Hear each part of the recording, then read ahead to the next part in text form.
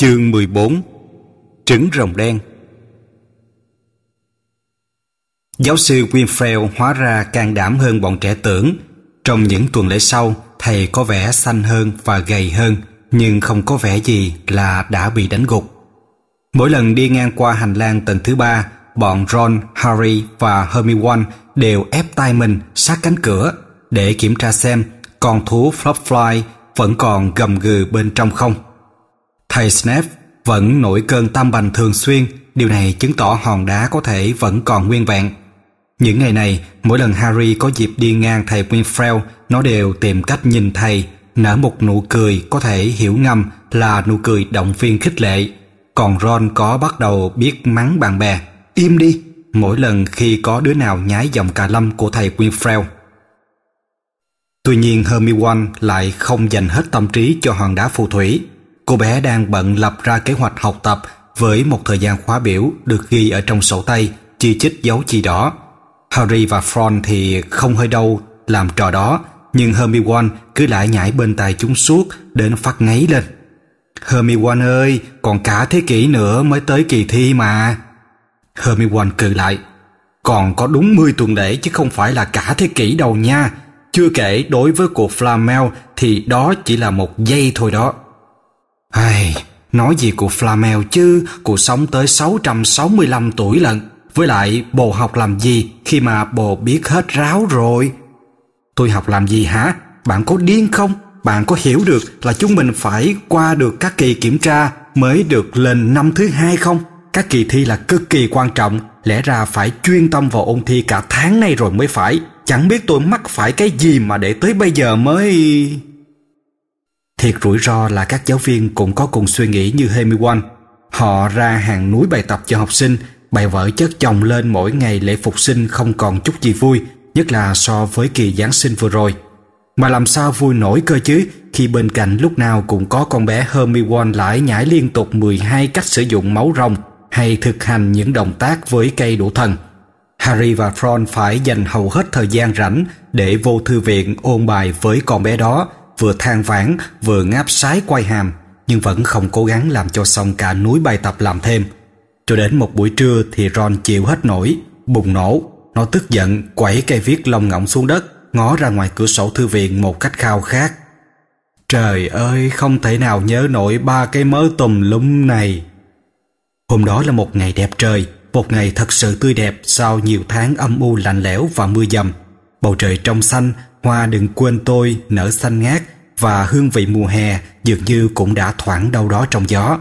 Harry mãi tìm kiếm một rau húng trong cuốn một ngàn thảo dược và nắm móc pháp thuật, nên không ừ hử gì khi nghe Ron than, nhưng nó lập tức ngẩng đầu lên khi nghe Ron hỏi. Bác Hagrid, bác làm gì trong thư viện vậy? Lão Hagrid lù lù hiện ra, giấu giấu diếm diếm cái gì đó sau lưng. Khoác cái áo da lông chuột chuỗi lù xù, trong lão thiệt là lạc lõng trong cái chốn hàng lâm gọi là thư viện này. Lão nói với giọng ranh mảnh khiến bọn trẻ hứng thú ngay. Chỉ ta qua ngó chút thôi á mà. À, mà cả lũ tụi bay làm gì ở đây? Tụi bay còn tra cứu tìm tòi về Nicholas Flamel nữa thôi, hả? Lão đổi giọng ngờ vực, nhưng Tron nói với giọng hết sức ấn tượng. Ôi giời, chúng cháu đi tìm ra cụ ấy là ai từ khuya rồi, mà tụi cháu còn biết còn chó ba đầu của bác đang canh giữ cái gì nữa kìa. Đó là hát... Lão Herod giáo giác nhìn quanh coi đó có ai rình nghe hay không. Đừng có mà hét toán lên về chuyện đó chứ, tụi bay mắc chứng bệnh gì vậy? À, thật ra thì có vài chuyện tụi cháu muốn hỏi bác về chuyện canh giữ hòn đá ấy mà. Ngoài con thú Fluffly ra... Lão Harrod phải bảo bọn trẻ nói nhỏ nhỏ thôi bằng cách suyệt to lớn. Các cháu nghe đây, lát nữa các cháu hãy đến gặp ta. Ta hứa là sẽ nói cho các cháu nghe bất cứ điều gì Nhưng phải tuyệt đối cẩn thận Đừng có bép xếp ở chỗ này. Học sinh không được phép biết cái đó Kẻo người ta lại tưởng là Chính ta tiết lộ cho các con biết đấy nghe Harry bèn nói Vậy hẹn gặp bác sau vậy ha. Lão Harry lê chân ra khỏi phòng Hermione có vẻ đăm chiêu. Bác ấy giấu cái gì sau lưng vậy ta? Bộ nghĩ cái đó có dính dáng gì đến hòn đá không? Uhm, để mình đi xem lại Coi bác ấy đã tìm sách ở những kệ nào là biết ngay ấy mà. Ron vừa nói vừa đứng lên Nó đã ê mong vì ngồi học rồi Nên sẵn sàng kiếm cớ đi lại cho giãn gân cốt. Chỉ vài phút sau Nó trở lại với một đống sách trên tay Thầy đống sách lên bàn Nó thì thầm. Rồng, bác Harrod Tra cứu toàn sách nói về rồng. Coi nè, các giống rồng ở nước Anh và Ái Nhĩ Lan Từ trứng đến khạc lửa Hướng dẫn dành cho người nuôi rồng. Harry nói Xưa nay bác Harriet vẫn thích một con rồng. Bác có nói với mình như vậy Hồi mình gặp bác ấy lần đầu tiên. Nhưng chuyện đó là phạm pháp. Ron kêu lên Ai cũng biết là hội nghị World vào năm 1709 đã cấm nuôi rồng. Nếu mà chúng ta cứ nuôi rồng trong vườn nhà thì thế nào? Giang Muller cũng để ý, rồi phát hiện ra chúng ta ngay Với lại mình cũng đâu có thể thuần hóa rồng, nguy hiểm lắm mà bồ, mà nhìn thấy mấy vết phỏng của anh Charlie thì để sống mấy con rồng hoang ở Rumani kìa. Kinh lắm. Harry thắc mắc. Nhưng mà ở Anh có rồng hoang không? Dĩ nhiên là có chứ. Lục Long và Hắc Long. Nhưng mà mình nói cho mấy bồ biết nhé. Bộ trưởng pháp thuật có nhiệm vụ là bưng bích thông tin để về mấy con rồng đấy. Cho nên lính của ổng cứ phải canh chừng hệ dân mua lò nào mà lỡ nhìn thấy rồng là họ phải nguyền ếm ngay cho người ta lú đi mà quên mất là đã có thấy rồng rồi. Hermione nêu lại vấn đề, thế thì bác Harriet giấu giếm cái gì nhỉ? Một giờ sau bọn trẻ gõ lên cánh cửa của túp lều người giữ khóa. Chúng rất ngạc nhiên khi thấy tất cả cửa sổ, cửa cái đều kéo màn kính mít. Từ trong nhà, lão Harry hỏi vòng ra. Ai đó? Rồi lão mới hé mở cửa cho chúng vào xong vội vàng đóng kín cửa lại. Bên trong nóng bức vô cùng, mặc dù hôm ấy ngoài trời khá ấm, nhưng trong nhà lão Harrod vẫn đốt lò sưởi. Lão pha trà và mời bọn trẻ ăn bánh mì thịt chôn. Bọn trẻ bây giờ đã quá thân thiết với lão Harrod, nên lập tức từ chối ngay món bánh mì chọi chó, chó lỗ đầu hôm nọ. Sao, các cháu muốn hỏi ta cái gì nào? Không việc gì phải vòng vo tam quốc nữa, Harry nói ngay. Dạ, Tụi con đang thắc mắc không biết bác có thể nói cho tụi con biết là ngoài con thú Fluffly ra còn có cái gì khác đang canh giữ hòn đá không? Lão Harry nhăn mặt nhìn Harry, lão nói Dĩ nhiên là ta không thể nói được Thứ nhất là bản thân ta cũng không biết Thứ hai con đã biết quá nhiều rồi Nên chi mà ta có biết thì cũng không thể nói gì thêm với con được nữa Người ta có cất giữ cẩn mật hòn đá ở đây là cũng vì lý do chính đáng, suýt chút nữa là nó bị đánh cắp khỏi Flintford. Ta đoán là con cũng đã tìm hiểu về chuyện đó rồi nha. Còn chuyện con Bluffly thì ta thua. Bà Harriet ơi, bác nói vậy thôi vì bác không muốn nói cho chúng cháu biết, chứ cháu biết hết mọi chuyện xảy ra ở đây mà. Giọng của bé Hermione dịu dàng, ấm áp và nịnh nọt nữa chứ khiến họ chòm râu của lão Harriet rung rinh nhẹ nhẹ, chứng tỏ là lão đang mỉm cười. Cô bé nói tiếp, um, chúng cháu chỉ thắc mắc là ngoài bác ra, cậu Dumbledore còn có thể tin cậy ai để nhờ canh giữ hòn đá nữa chứ? Ngực của lão Harry dường như nở phồng lên khi nghe những lời nói làm phỉnh mũi này. Harry và Ron nháy mắt với Hermione. Ồ, ta thấy không hại gì nếu ta nói cho các cháu biết rằng... Um, để coi, à, Cụ mượn con Fluffly của ta rồi bùa chú của một số giáo sư khác. Giáo sư Fruit, giáo sư Clipwick, giáo sư McGonagall. Bác điểm tên các giáo sư trên đầu ngón tay. Giáo sư Grimfell và tất nhiên giáo sư Fumblador cũng có bùa của cụ. Để coi chờ một chút ta quên mất một người. À phải rồi giáo sư Snape. Thầy Snape Ừ, coi bộ các cháu vẫn chưa hiểu hả? Thế này, thầy Snape giúp sức bảo vệ hòn đá nên chắc chắn ông ấy sẽ không đánh cắp nó rồi. Harry biết chắc rằng Ron và Hermione đều đang có cùng một suy nghĩ như nó. Nếu thầy Snape ở trong nhóm bảo vệ hòn đá thì ông ấy lại càng dễ dàng khám phá ra những cách thức mà các giáo sư khác dùng để canh giữ hòn đá. Có lẽ ông ấy đã biết mọi điều, ngoài trừ có vẻ như vậy lời nguyền của thầy Winfrey và cách vượt qua con thú ba đầu. Harry nôn nóng nói với lão Hagrid. Bác là người duy nhất biết cách trấn áp con Flopfly, phải không bác Harry? Và bác hứa là đừng bao giờ nói cho ai biết cả nhé bác. Ngay cả các giáo sư, bác cũng đừng nói nha. Lão Hadrid tự hào đáp. Không một ai có thể biết được ngoại trừ ta và cụ Flumbledore. Harry thì thầm với hai đứa bạn. Thôi, vậy cũng được. Rồi nó nói với lão Hadrid. Bác ơi, bác mở cửa sổ ra một chút được không? Cháu đang nóng chảy cả mở ra rồi đây nè. Rất tiếc là không được Harry à. Lão Harry vừa nói vừa liếc chừng ngọn lửa trong lò sưởi khiến cho Harry tò mò ngó theo. Cái đó là cái gì vậy bác Harry? Nhưng nó đã biết ngay cái đó là cái gì. Chính giữa ngọn lửa, phía dưới cái ấm đun nước là một cái trứng to màu đen.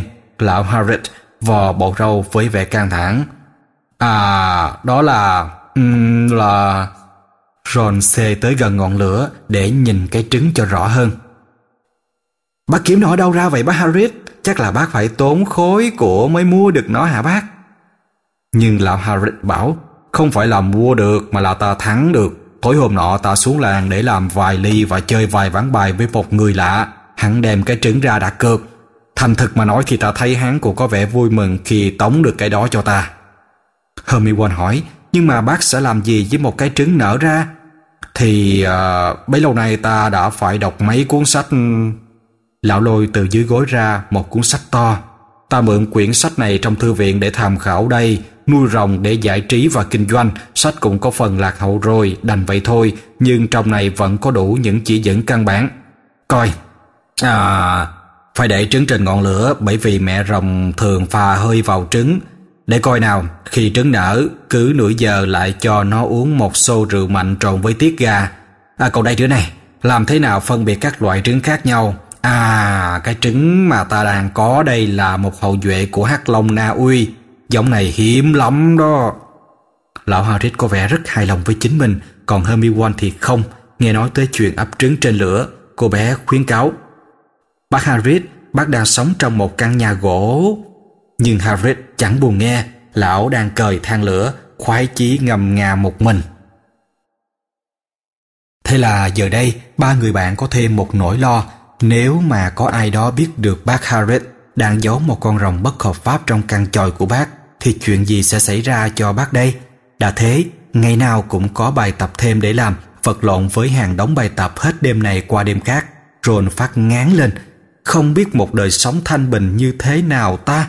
Hermione đã bắt đầu soạn thời khóa biểu ôn tập cho cả Ron và Harry, khiến hai đứa nó phát điên lên được.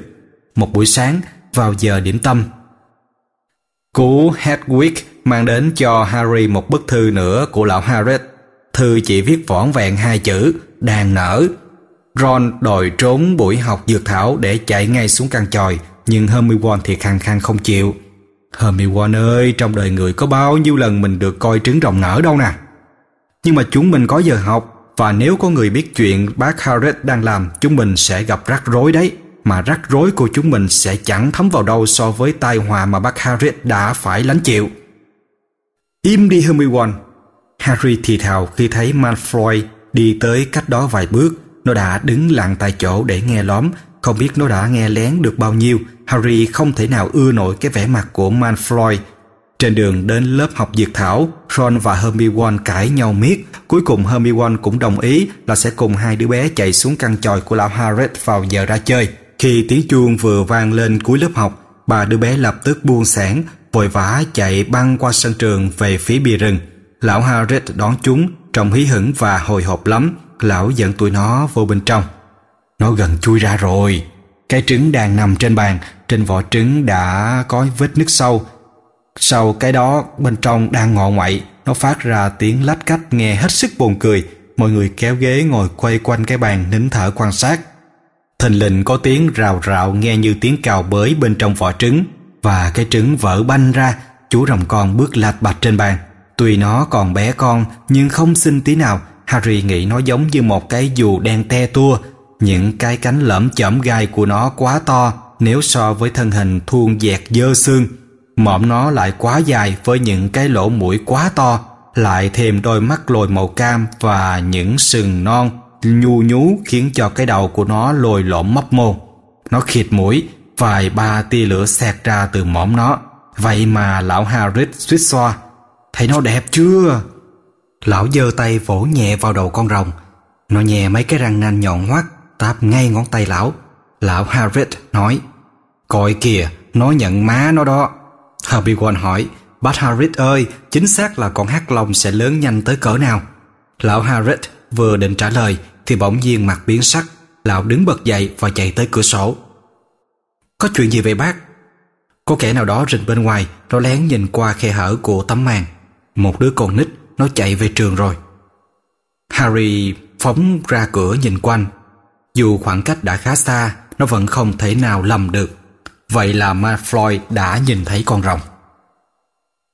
Trong suốt tuần sau, vẻ mặt Malfoy luôn mang một nụ cười vờ vĩnh, ẩn chứa điều gì đó làm cho Harry, Ron và Hermione lo lắng hết sức. Có bao nhiêu thì giờ rảnh, tụi nó dành hết để ở trong căn tròi tối tăm của lão Harris, cố gắng thuyết phục lão. Harry đang nỉ, thả nó đi bắt Harris, nhưng lão Harris không chịu. Bác không thể làm như vậy được, nó còn nhỏ quá, nó chết mất. Họ cùng ngắm con rồng. Chỉ trong một tuần mà nó đã lớn lên, dài hơn trước gấp ba lần, lỗ mũi nó cứ phì phèo thở ra những cuộn khói. Lão Harrit cũng đâm chểnh mãn nhiệm vụ canh giữ sân trường vì luôn bận biệu với con rồng ấy. Trên sàn nhà lão, vỏ chai rượu mạnh và máu gà phun phải cùng khắp. Lão Harrit nhìn con rồng với đôi mắt mơ màng. Ta đã quyết định đặt tên nó là Norbert. Bây giờ nó đã biết nhận ra ta, thiệt mà. Coi nè, Norbert, Norbert, má mày đâu? Ron thì thầm vào tai Harry. Bác ấy u mê rồi. Harry nói to, bác Harriet, hai tuần nữa thì Norbert sẽ dài bằng căn nhà của bác, không thể giấu nó vô đâu được nữa, mà Manfroy thì có thể đi mét thầy Dumbledore bất cứ lúc nào. Lão Harriet cắn môi suy nghĩ. Ta, ta biết, ta không thể giữ nó mãi, nhưng ta không thể quẳng nó đi. Thí mặt nó được, làm sao ta có thể... Harry bỗng quay vào Ron, reo lên. Charlie! Ron nói. Bồ cũng lú lẫn rồi sao? Mình là Ron mà, không giới hả? Không không, mình không nói bạn, mà là anh bạn của bạn, anh Charlie ấy. Ảnh ở Rumani đang nghiên cứu về rồng. Chúng mình có thể gửi Norbert cho ảnh, nhờ ảnh chăm sóc nó cho đến khi nó đủ cứng cáp thì thả nó về với thiên nhiên. Ron reo lên. Sáng suốt thiệt, bác thấy sao hả bác Harriet? Lão Harriet rốt cuộc cũng phải đồng ý cho bọn trẻ gửi cứu tới Charlie để hỏi ý kiến của anh về con rồng. Một tuần nữa dài lê thê trôi qua trong phật phòng. Đêm thứ tư, trong phòng sinh hoạt chung chỉ còn lại Hermione và Harry ngồi bên cạnh nhau. Lâu thật lâu sau khi mọi người đã đi ngủ, chiếc đồng hồ trên tường vừa gõ 12 tiếng thì cái lỗ trên bức chân dung treo tường đột nhiên mở ra. Ron xuất hiện đột ngột như vừa từ sàn nhà trồi lên. Khi nó cởi tấm áo khoác tàn hình của Harry ra, nó vừa đi xuống căn chòi của lão Harrit giúp lão đưa con Norbert ăn con rồng nhí này bây giờ đòi ăn tới món chuột chết và ăn hết cả thúng lận. Nó cắn cả mình nữa cậu ạ. À. Ron chìa cho các bạn xem bàn tay nó quấn trong cái khăn tay đậm máu. Không biết làm sao mình cầm viết được trong tuần tới đây. Nói cho mấy bồ biết con rồng nhí đó là một con vật kinh khủng nhất mà mình đã từng gặp Vậy mà các kiểu bác Harris đối xử với nó thì cứ như thể nó là thỏ ngọc bé bỏng tinh khiết dễ thương trên cung hàng không bằng.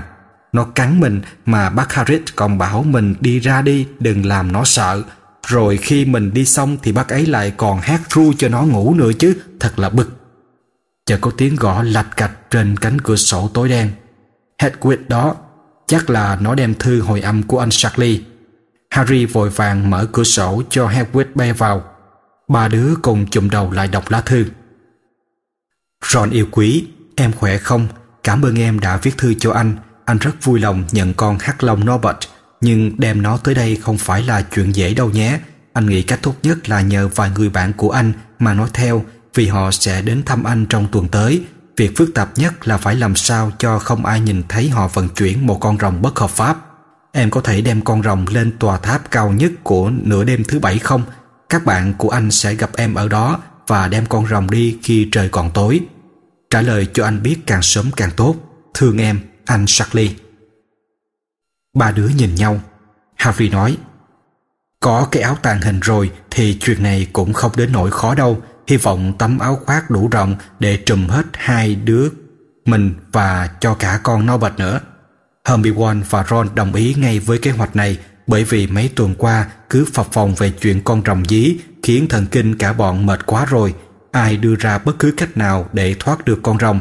Và thằng Malfoy nữa thì tụi nó đều đồng ý một cái rụp. Nhưng có một chuyện thật bất ngờ, sáng hôm sau, bàn tay Ron bị rồng cắn bỗng xương phù to gấp đôi bàn tay bình thường. Nó không biết là nên đến gặp bà Pomfrey hay không, liệu bà còn nhận ra đó là vết rồng cắn hay không. Nhưng đến trưa thì nó hết chịu nổi, không còn cách nào khác ngoài ôm cái tay sưng tấy xuống bệnh xá. Vết cắn đã chuyển thành màu xanh lá cây, rất có thể là răng nanh rồng có nọc độc. Cuối ngày hôm đó, khi Hermione và Harry chạy ô tới bệnh xá thăm Ron, hai đứa gặp Ron ở trong tình trạng thê thảm chưa từng thấy. Ron thì thào, tay của mình đau như sắp rụng ra vậy, nhưng cái tay đau không tức bằng chuyện này. Thằng Malfoy nói xạo với bà Pomfrey là nó muốn mượn một cuốn sách của mình, thế là bà cho nó vô đây để cho nó cười nhạo mình. Nó còn dọa sẽ khai ra con gì đã cắn mình. Mình có nói với bà Bumfrey là chó cắn mình, nhưng chắc bà không tin đâu. Lẽ ra mình không nên đập thằng đó một trận Quidditch hôm trước mới phải, bây giờ nó làm vậy là để trả thù mình mà. Harry và Hermione ra sức vỗ về Ron. Hermione nói, sau nửa đêm thứ bảy là mọi chuyện sẽ qua thôi. Nhưng điều đó không làm cho Ron thấy nhẹ nhàng, ngược lại nó ngồi bật dậy và toát cả mồ hôi. Nửa đêm thứ bảy, Thôi rồi, chết rồi, mình nhớ ra rồi, lá thư của anh Shackley kẹp trong cuốn sách mà thằng Manfroy mượn, nó sẽ biết chuyện mình định tống tiễn con rồng nhí. Harry và Hermione chưa kịp phản ứng gì trước cái tin động trời ấy, thì bà Pomfrey đã xuất hiện đúng lúc để đuổi cả hai đứa ra, nói là Ron cần phải nghỉ ngơi. Harry nói với Hermione, bây giờ đã quá trễ, không kịp đổi kế hoạch nữa đâu, chúng mình không còn đủ thì giờ để gửi cứu cho anh Shackley nữa, mà mình cũng không còn cơ hội nào khác để tống khứ con rồng Norbert, đành phải liều thôi, may mà còn có tấm áo tàng hình mà Floyd không biết gì về bí mật này. Hai đứa đi kiếm lão Harris để bàn bạc, gặp con Phan đang ngồi trong ngóc ngoài cửa chòi với cái đuôi quấn băng, còn lão Harris thì chỉ dám hé cửa sổ ra để nói chuyện với tụi nó. Lão thở phì phì. Bác không cho các cháu vào được, bé Norbert đang quấy, bác chẳng làm sao dỗ được nó. Khi nghe nội dung lá thư của Charlie, mắt bác ứa lệ, nhưng cũng có thể bác ứa nước mắt vì đâu, tại bé Norbert vừa ngậm yêu một cái vô ống quyển của bác. Ai? Ờ, à, không sao, bác chỉ cắn trúng ống giày của bác thôi, bé nghịch ấy mà. Nói cho cùng thì nó cũng là một đứa bé sơ sinh, phải không các cháu? Cái đứa bé sơ sinh nó đập đuôi lên vách chòi ầm ầm, làm cửa sổ rung lên bần bật. Harry và Hermione quay về tòa lâu đài, cầu mong cho đêm thứ bảy đến thiệt nhanh. Phải như Harry và Hermione không nhìn thấy quá nhiều phiền toái do con rồng dí gây ra, thì có lẽ tụi nó đã phải mũi lòng trước cảnh chia tay của lão Harry với bé Norbert. Đêm ấy trời đầy mây, tối đen như hũ nút. Harry và Hermione tới chỗ lão Harry hơi trễ một chút vì phải chờ cho con yêu tinh Beavis cút khỏi hành lang dẫn ra cửa chính con yêu tình cứ đứng đó nhấn nha chờ đánh quần vợt với bức tường. Lão Harrit đã đặt bé Norbert trong một cái thúng to. Lão nghẹn ngào nói, ta đã gói ghém cho bé đủ chuột chết và rượu mạnh để ăn vặt dọc đường. Ta cũng có để trong thúng một con gấu nhồi bông để bé đỡ thui thủi một mình. Từ trong thúng vọng ra tiếng gì đó rẹt rẹt bực bực mà Harry nghe như tiếng của một con gấu nhồi bông đang bị xé rách bụng hay là bứt rứt đầu. Lão Harris không ngăn được nỗi lòng thổn thức. Tạm biệt con yêu nhé Norbert, má sẽ không bao giờ quên con đâu. Harry và Hermione vội trùm tấm áo tàng hình lên cái thúng, rồi trùm lên cả tụi nó. Chính hai đứa nó cũng không hiểu làm cách nào đã xoay sở khi được cái thúng to ấy vô tòa lâu đài. Sắp nửa đêm rồi mà chúng vẫn còn y ạch đẩy cái thúng lên những bậc thang đá hoa cương, rồi kéo lê nó trong hành lang, rồi lại lên cầu thang, rồi lại một lần lên cầu thang nữa, Đến như mấy lối đi tắt của Harry cũng không giúp được bao nhiêu. Cuối cùng hai đứa cũng đến được hành lang phía dưới tòa tháp cao nhất. Harry thở hổn hển, gần tới rồi. Bỗng một tiếng động phía trước làm cho chúng hết hồn, suýt làm rớt cái thúng, quên mất là mình đang tàn hình. Hai đứa nhỏ hốt hoảng nép vào bóng tối, trừng mắt nhìn vào một cái bóng mờ mờ nhỏ bé đang phùng vẫy vì bị một cái bóng khác lớn hơn túm lấy. Cả hai chỉ cách chúng có ba thước, một ngọn đèn lóe sáng, đó là giáo sư McGonaran trong bộ váy ngủ và lướt bịch tóc đang véo tai Malfoy, giáo sư quát. Và cấm túc, trừ của Slytherin 20 điểm, dám lang thang trong lâu đài lúc nửa đêm hả? Ờ thưa cô, cô không hiểu rồi, Harry Potter sắp đến đây, nó mang theo một con rồng. Nói tầm xàm bá láp, sao trò dám nói dối trắng trợn vậy hả? Trò Malfoy, ta sẽ đến gặp thầy Snape. Giáo sư McGonagall giải thằng Malfoy đi rồi. Harry và Hermione mới thấy cái đầu cầu thang dốc đứng dẫn lên đỉnh tháp cao nhất tòa lâu đài cũng không còn cao lắm. Vừa ngóc đầu lên được tới nơi, chúng lập tức lột tấm áo tàng hình ra để được hít thở thoải mái, làm không khí đêm mát lạnh. Hermione thậm chí còn dám nhảy tung tăng, mà Floyd bị cấm túc rồi, mình tha hồ hát nhé. Harry khuyên, đừng. Con rồng đang cựa quậy trong cái thúng, trong lúc chờ đợi, hai đứa nó cười khoái trá về chuyện ma Malfoy. Khoảng 10 phút sau, từ trên trời cao, bốn cây chổi cùng hạ xuống trong bóng đêm. Bạn của anh Charlie là những người rất vui tính. Họ cho Harry và Hermione xem những cây cương và xích mỏm dùng để chế nghị con rồng. Mọi người xúm lại trói gô con rồng một cách gọn ghẽ. Harry và Hermione bắt tay những người khách, cảm ơn họ lia lịa rồi chia tay. Sau rốt, bé nô khởi hành ra đi và đi mất. Harry và Hermione trượt xuống cầu thang dốc, không còn cái thúng nặng trên tay, đầu óc cũng nhẹ tên và cõi lòng thanh thản. Không còn lo âu về con rồng nữa, Malfoy thì đã bị cấm túc, còn cái gì có thể làm hỏng được cuộc vui của bọn trẻ chứ? Cái đó đang đợi sẵn ngay dưới chân cầu thang, hai đứa vừa thò đầu xuống thì chạm ngay cái mặt đất đen xì của thầy giám thị Flitch. Thôi rồi, Harry thì thầm, tụi mình tiêu rồi. Hai đứa đã bỏ quên tấm áo tàn hình trên đỉnh tháp.